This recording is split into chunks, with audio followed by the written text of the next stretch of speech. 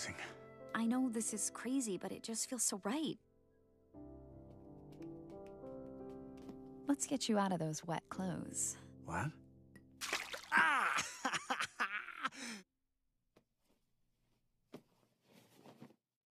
Oh my god, what the hell's that? oh, the tattoo.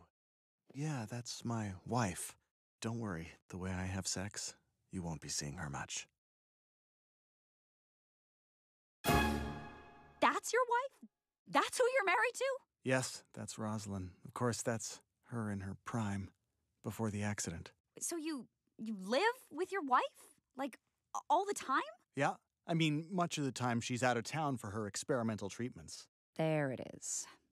Question. So, but before the accident, this uh, worked for you? Yeah, I mean, clearly I have a type. You're the wife? Oh, you saw the tattoo. But that means you got him naked. Huh. You know, I'm surprised you're a have sex with the lights on person.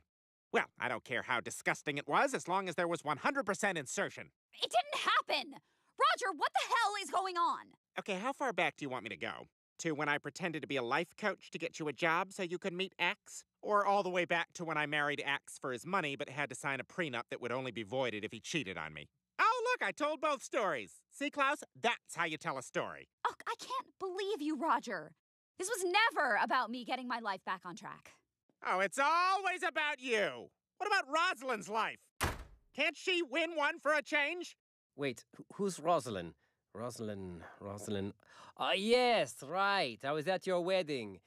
Oh, I owe you guys a present.